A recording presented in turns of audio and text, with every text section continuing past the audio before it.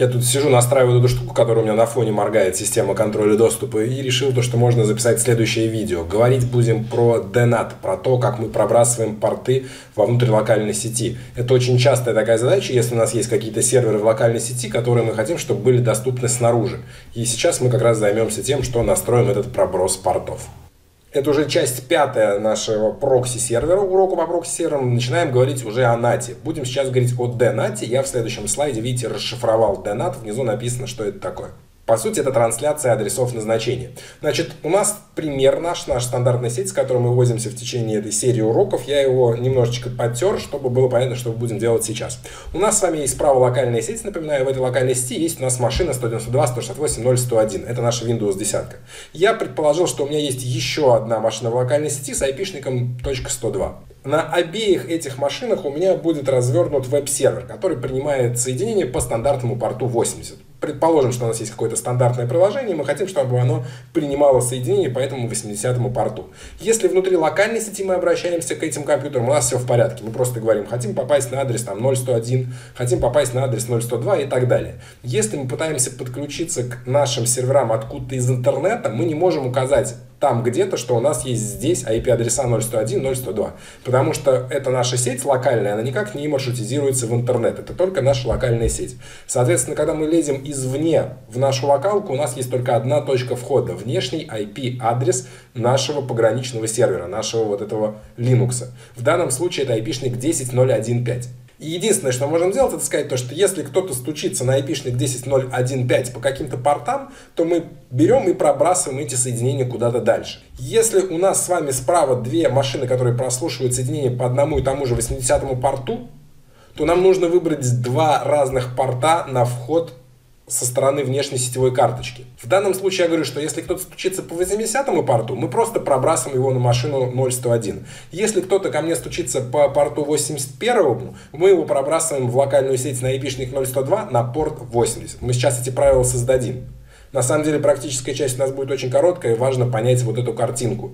Потому что мои студенты очень часто на этом спотыкаются. Они создают кучу одинаковых правил и не понимают то, что у нас всего одна точка входа, и если мы принимаем соединение по порту 80, то мы можем пробросить локальную сеть только на одну какую-то машину. Это важно понимать.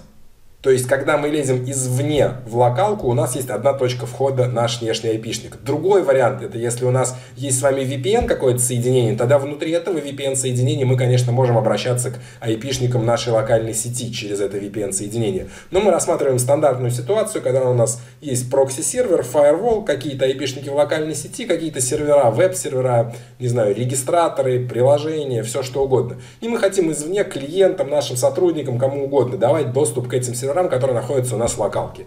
Это наш такой типовой пример, который мы его будем сейчас решать. Я вам еще раз здесь показываю наш слайд с цепочками, чтобы вы понимали. Как я и говорил, мы сейчас будем перехватывать соединения, которые адресовываются нашей внешней сетевой карточке Linux. То есть, если кто-то будет обращаться по порту 80 к нашему Linux, мы хотим пробросить его дальше в локалку. И здесь у нас включается как раз цепочка прерутинга, предварительная маршрутизация. Потому что по умолчанию, если кто-то стучится в наш хост NetFilter, если пакеты адресованы ему, то они попадают у нас в цепочку input и им обрабатываются.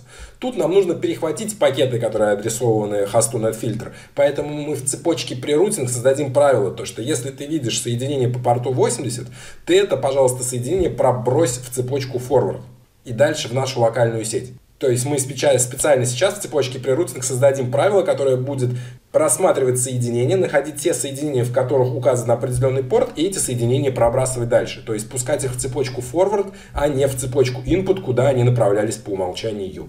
Я не стал особенно заморачиваться и просто включил компонент EIS на вот этой нашей машине. То есть, если я пройду на ее петлевой IP-адрес 127.0.0.1, у меня открывается страница EIS по умолчанию. Это Internet Informational Services. Это наш веб-сервер майкрософтовский, который есть у нас в любой винде. В данном случае у меня винда, по-моему, здесь корпоративная, в Home EIS не ставится, и поэтому у меня все установилось. Я могу точно так же обратиться по IP-шнику этой машины. То есть с нее на саму ее и вижу то, что вот да, ИИС у меня отключает, открывается. Теперь я запускаю браузер на своем компьютере. Мой компьютер по отношению к Windows 10 находится якобы в интернете. Поэтому, чтобы попасть на него, мне нужен как раз внешний IP-адрес Linux. Который связывает меня и виртуальную локальную сеть той машины.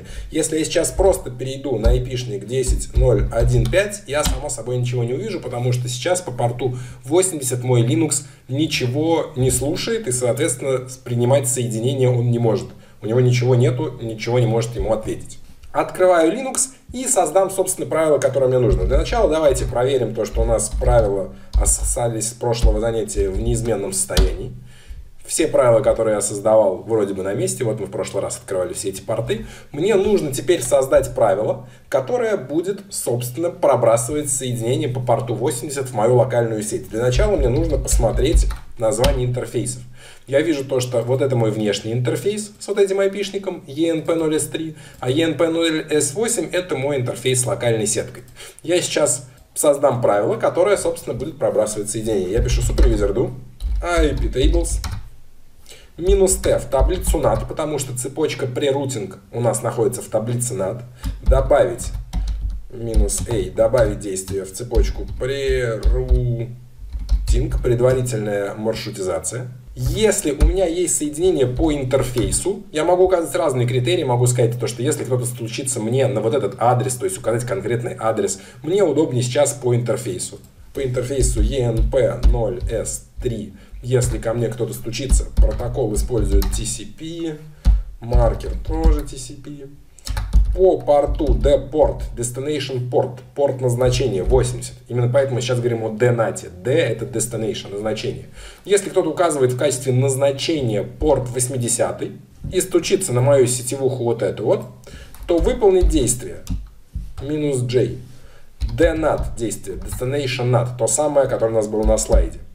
DNAT to destination, то есть перенаправить это соединение на IP-шник 192.168.0.101. Нажимаю Enter, нажимаю IP Table Save. И вижу, что у меня появилось это правило. Вот оно. В таблице NAT, в цепочке прерутинг, если кто-то ко мне лезет в сетевуху мою, вот эту вот, ENP0S3, по TCP-шному порту 80, то его нужно перебросить на IP-шник 0101, прям с тем же самым портом. Этого правила нам сейчас недостаточно, потому что мы, по сути, просто перехватываем соединения по порту 80 и пробрасываем их в локальную сеть. Но в цепочке forward у нас не разрешен проброс порта 80.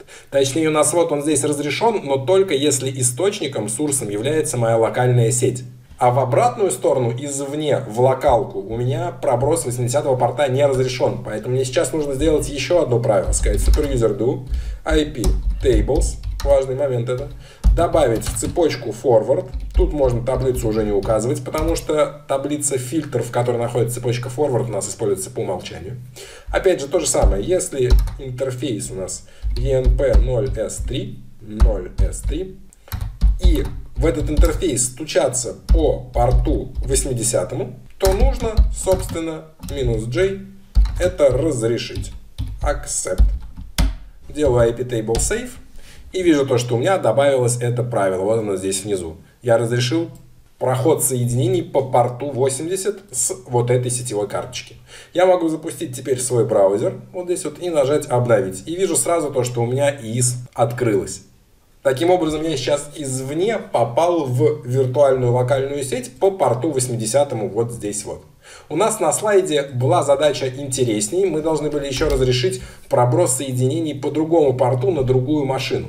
Тут правило, в принципе, схожее с тем правилом, которое мы создавали. Опять же, если кто-то стучится к нам по вот этому интерфейсу, но теперь уже по порту 81, Вспоминайте картинку, то есть если теперь у меня есть соединение по порту 81, мне нужно пробросить его на другую машину, на машину 102, но при этом еще транслировать порт 80.